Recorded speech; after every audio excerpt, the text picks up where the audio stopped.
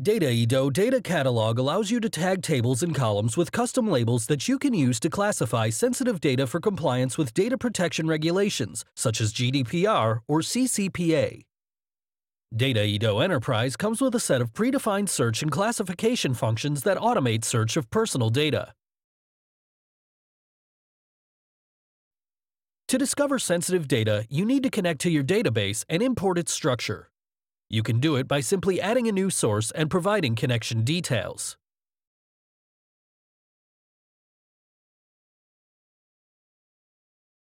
After importing all of the data sources you want to search and classify, open Data Classification option and choose one of the built-in functions.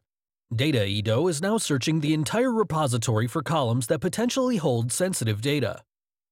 Columns are searched based on their names, alternative titles, and classifications of linked glossary terms and columns with the same name.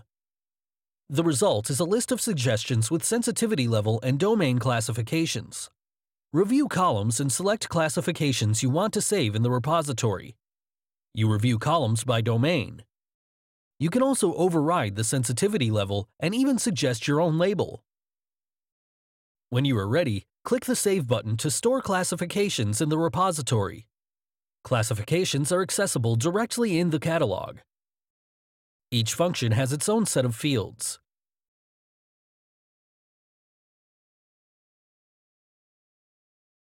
You can see the classifications directly in the catalog, or view all of them from a single report, Classification Explorer. You can sort, filter, and copy them to spreadsheets or documents.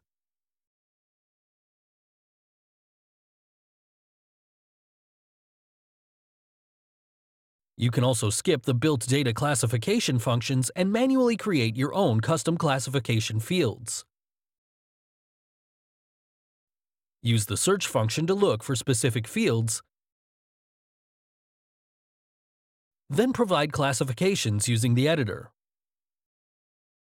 You can also find other columns with the same name and review all classifications at once.